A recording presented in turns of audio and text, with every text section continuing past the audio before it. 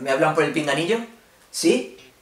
Que la gentecilla es que es la, la leche. Es que es verdad que estaba un poquillo triste, taciturno, melancólico, pero después de los comentarios que me habéis dejado en el vídeo anterior, es que ha sido como si todos los suscriptores vinieran a abrazarme y me dijeran, no, Mesilla, no estés mal, no estés mal, Mesilla, no estés mal. He sentido un super abrazo de miles de personas, ha sido muy bonito.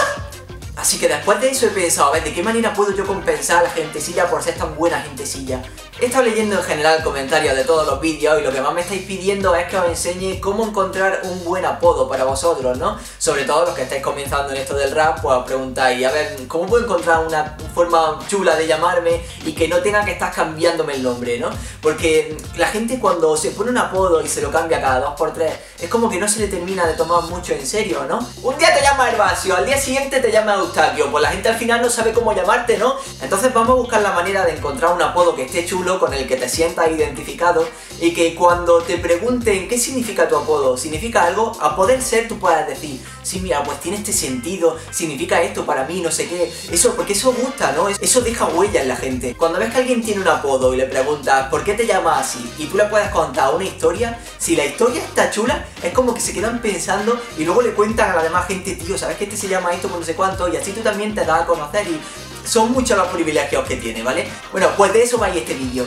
Vamos a encontrar la mejor manera de llamarnos, ya sea para el rap, para cuando comienza una aventura Pokémon, cuando juegas al parchís con tu abuela, que mi abuela siempre se pone Destroyer 66 y nos destruye a todos los nietos. Flipante lo que hace esa mujer. En fin, comencemos. Voy zapeando por los vídeos de YouTube y sin querer vi el canal de MeTube.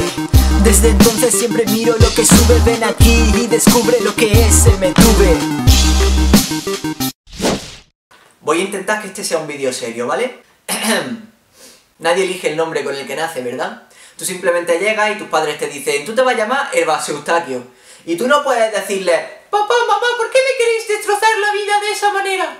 Porque eres un chumbelillo muy chiquitillo y todavía pues no puedes quejarte. Pero cuando tú creces ya puedes decir, mira, pues yo me quiero llamar Penesillo HD. Pues hay cuatro posibles maneras de encontrar ese nombre. Y yo tengo todo lo que necesitas saber para encontrarlo. La primera manera de la que puedes escoger tu nombre es elegir uno que te defina algo que diga cómo tú eres, ¿no? Por ejemplo, si tú eres una persona que es muy hipersensible, que siente mucho los sentimientos, pues podría a lo mejor hacer un juego de palabras con la palabra sentimiento, ¿no? Le quitas el miento y pones sent y te quedas con sent. Cuando te pregunten, ¿por qué te llamas sent? Pues sent viene de sentimiento, porque le pongo mucho sentimiento a las canciones. Tú pensando en tu personalidad, en cómo sueles reaccionar a las cosas, si eres muy enamoradizo, si lloras con facilidad, si por el contrario eres muy duro, puedes coger una de las palabras que tengan que ver con eso que tú eres y haces un juego de palabras pues, que, que quede chulo, ¿sabes? Transforma esa palabra de una manera que quede guay. Por ejemplo, si eres una persona muy fría y tienes el corazón de piedra, pues puedes llamarte Petro.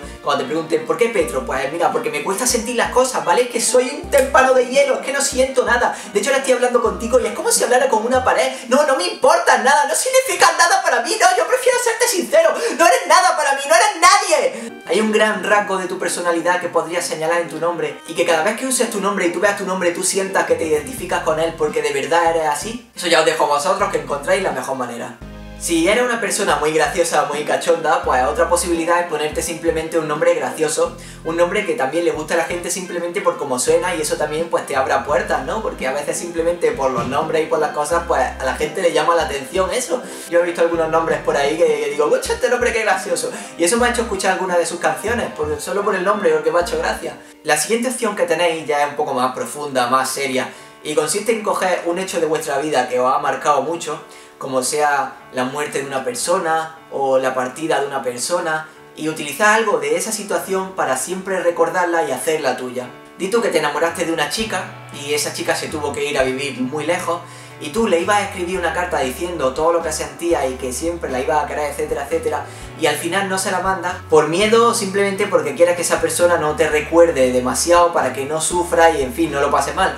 En cualquier caso, no la escribiste en la carta. Entonces tú te pones de nombre carta blanca porque es una carta que nunca llegaste a rellenar Y cada rap que haces es como rellenar esa carta, como contarle a esa persona lo que piensa, lo que sientes, eh, cómo ves el mundo. Es como, como un diario, pero que le está escribiendo a otra persona y que en realidad nunca se lo llegaste a escribir. ¿Ves? Es algo muy profundo y que quedaría súper chulo cuando te pregunten ¿por qué te llamas carta blanca? Puedes coger algo de tu vida que te haya marcado mucho, coger algo de eso y hacerlo tuyo. La última posibilidad, y a una posibilidad chulísima que casi nunca se le ocurre a nadie, es coger una meta tuya, un sueño, y hacer de eso tu nombre.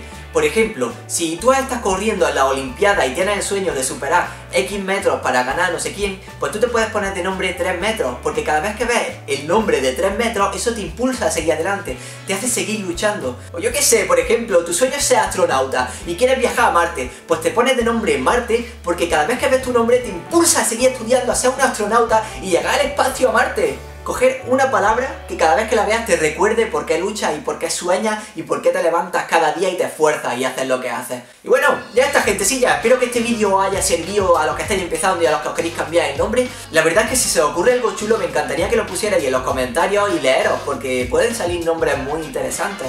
Dale a la mano del autostop si te ha gustado y nos vemos en el siguiente vídeo. Soy M y estás viendo MTube.